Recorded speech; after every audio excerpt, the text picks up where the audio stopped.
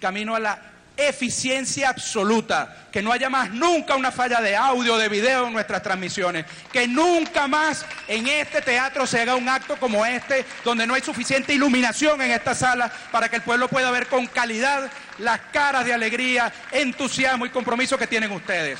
Es una crítica fraterna que nos hago, que me hago. No es posible que sigamos cometiendo errores que tienen 14 años por ser solucionados. Tenemos que ser eficientes, una eficiencia absoluta como nos la pide Chávez.